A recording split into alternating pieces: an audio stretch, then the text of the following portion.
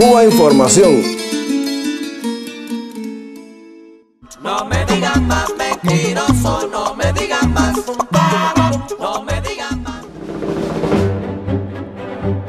En Cuba, miles de músicos de jazz han sido formados de manera gratuita en la Universidad de las Artes, ELISA, en la Escuela Nacional de Arte, en el Conservatorio Amadeo Roldán y en otras instituciones oficiales. En Cuba la cantidad y calidad de los músicos en general y de jazz en particular no tiene parangón en la región. Sin embargo, ¿son conocidos en el mundo estos artistas? Quizá entre un público especializado sí sea seguida la obra de jazzistas residentes en la isla como Bobby Carcassés, Pablo Menéndez, Giraldo Piloto, Gloria Ochoa o Gastón Joya. Y los amantes del jazz puede que sí conozcan importantes eventos como el Festival Internacional Jazz Plaza de La Habana. El gran público, por el contrario, jamás ha oído mencionar dichos nombres, pero sí los de Paquito de Rivera o Arturo Sandoval, músicos también nacidos en Cuba y con gran espacio en los medios internacionales. La razón no es su innegable genialidad como intérpretes, ambos gozan de promoción y espacio mediático porque sencillamente viven en Estados Unidos y son detractores acérrimos de la Revolución cubana una revolución a la que deben su formación como músicos, pero que no les pudo ofrecer los altos ingresos que hoy tienen en Estados Unidos.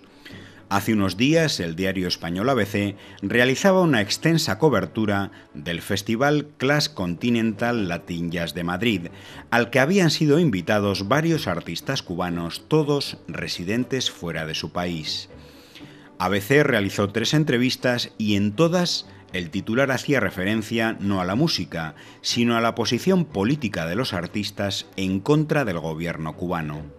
El trompetista Manuel Machado afirmaba que el jazz en Cuba, país que abandonó en los años 90, era la música del enemigo. En Cuba el jazz jamás estuvo prohibido, tal como afirma el músico en la entrevista, aunque en una época muy determinada no fuera programado en la radio y televisión de la isla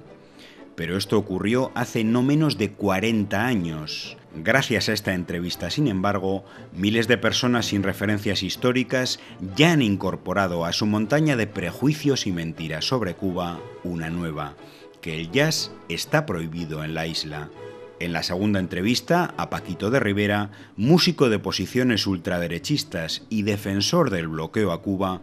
este denunciaba que en España todavía hay gente que defiende a Fidel. Habría que preguntarle entonces por qué en una supuesta democracia, con la libertad de prensa que asegura falta en Cuba,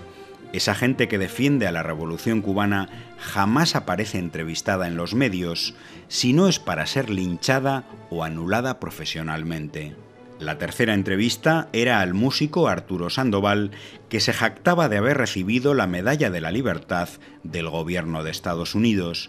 y que se unía a las posiciones de la extrema derecha de Miami en contra del actual diálogo entre ambos gobiernos. Lo que está haciendo la Casa Blanca es darle más gasolina a la dictadura cubana para que permanezca en el poder.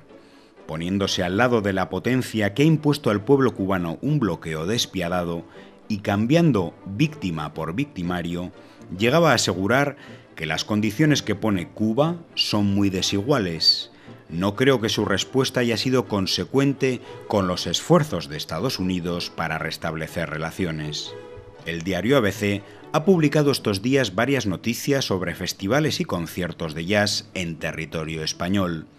pero a músicos estadounidenses como Ornette Coleman o Chick Corea no les ha preguntado nada sobre asuntos de la agenda informativa como la brutalidad y el racismo policial en Estados Unidos, tampoco a los músicos que acompañaban al fallecido guitarrista andaluz Paco de Lucía, invitados al citado festival Class Continental Latin Jazz, les preguntó el ABC sobre el drama social de Andalucía con un 38,4% de su población activa en desempleo.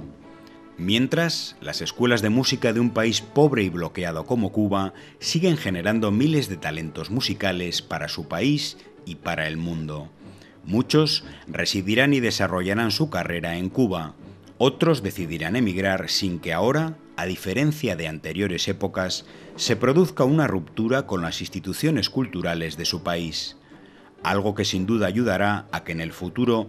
esos músicos cubanos emigrados hablen más de música que de política y defender a una superpotencia que ha tratado de matar por hambre a su propio pueblo ya no será absolutamente imprescindible para conseguir entrevistas promocionales.